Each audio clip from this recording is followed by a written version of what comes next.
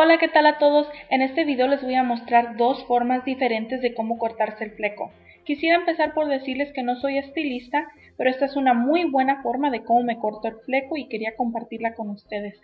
Lo primero que van a hacer es dividir su cabello. Van a sacar la cantidad de cabello que ustedes prefieran para su fleco. Les recomiendo que saquen entre 1 a 2 pulgadas.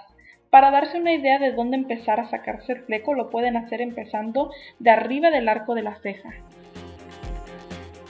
Un muy buen tip que les quiero dar es que cuando se vayan a cortar su fleco no se lo vayan a mojar. Esto me pasó a mí una vez, yo me lo mojé y cuando se me secó me quedó bien cortito. Les recomiendo mejor que se lo planchen. El primer corte que les voy a enseñar es el fleco de lado. Yo me lo voy a cortar al lado derecho y como escribo con mi mano derecha es un poco difícil, pero ahorita más adelante les voy a enseñar cómo hago eso.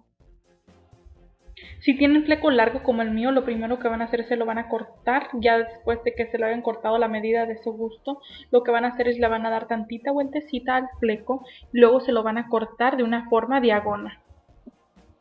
Ya que se suelten el cabello, el corte les va a quedar al lado derecho. También se pueden cortar cualquier imperfección que crean que les haya quedado. Yo me voy a cortar un poquito en una esquinita.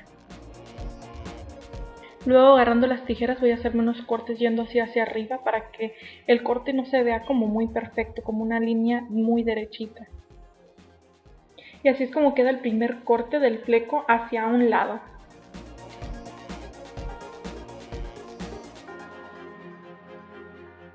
Y nuevamente para cortarse el fleco de esta forma lo que van a hacer es sacarse su fleco empezando desde arriba del arco de la ceja, más o menos de 1 a 2 pulgadas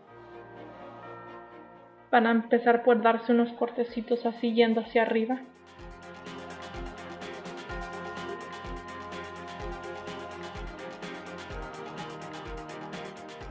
Esta forma de cómo cortarse el fleco es muy sencilla, es muy fácil de hacer, solo se van a seguir cortando hacia arriba y cuando se suelten el fleco les va a quedar de esta forma.